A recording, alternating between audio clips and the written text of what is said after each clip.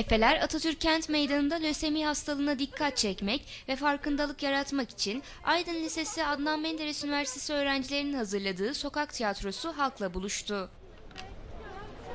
Abi, kızım. Kızım. Merhaba. Merhaba.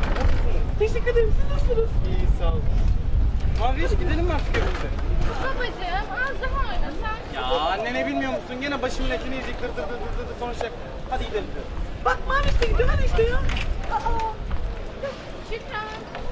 Yarın da düzgün kurabiye yapalım olur mu? Tamam ben geçeceğim. Aynen. Yeter pek şeker.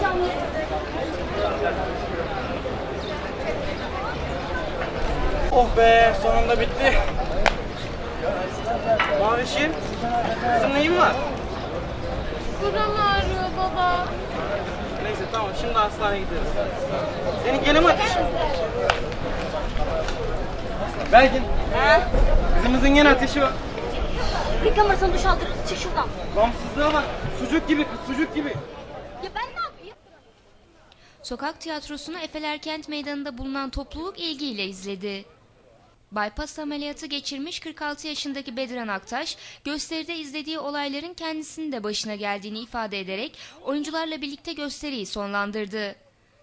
Gösteri sonunda eğitmen Kuntay Cengizoğlu amaçlarını anlattı. Öncelikle sizi tanıyalım. Ben Kuntay Cengizoğlu. Sadece duyarlı biriyim. Hani tiyatro ile ilgilenen, duyarlı olması gereken toplumdaki herkes gibi.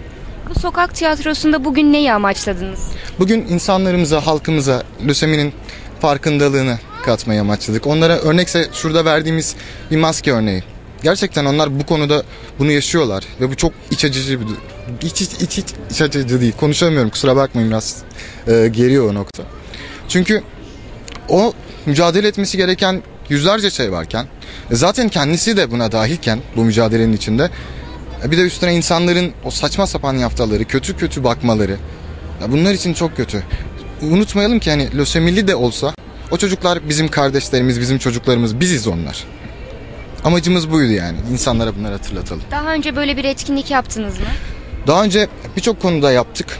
Ee, gezi olaylarında olsun, diğer sayılarda olsun, doğa felaketlerinde.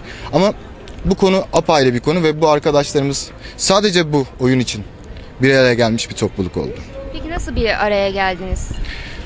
Ee, bu konuda Gülşah arkadaşımızı biraz öne alalım. Gülşah arkadaşımız gerçekten de lösemili bir arkadaşımız. Yine löseve gönül vermiş arkadaşlarımız var içimizde.